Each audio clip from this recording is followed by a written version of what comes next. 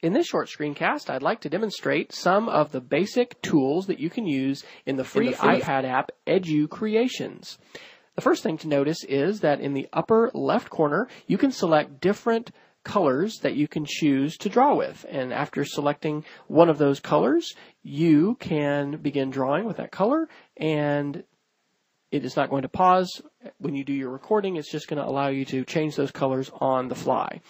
The other thing to notice is that um, you can add text by clicking on the T up here. Once you've added that text, you can move it wherever you'd like on your project. You can also change the text color and change the text size. Um, we will not, oops, in this project, be actually using this button, which is the photo button, to take pictures or to add pictures, but you certainly can do that. And these two buttons are the undo and redo button. And when you have something to undo or redo, those are not grayed out. They are black and you can choose those to um, get back to wherever you were previously. The X button is going to clear your ink or clear everything in your project. Um, there is not an eraser in Educreations currently, so the only ways to get things erased are either to undo them or to click the X to clear your ink.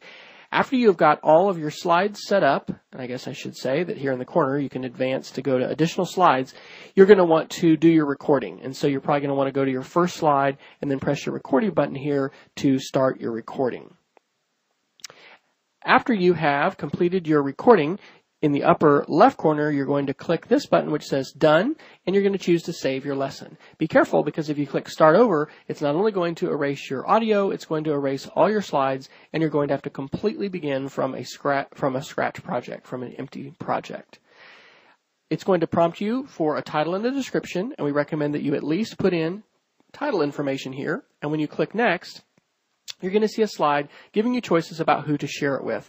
And for our project today, we recommend you choose private. It's just going to share that locally, but you also can choose public. When you create an account with Educreations, it gives you two other choices so that you can choose to share it with your students or with your school.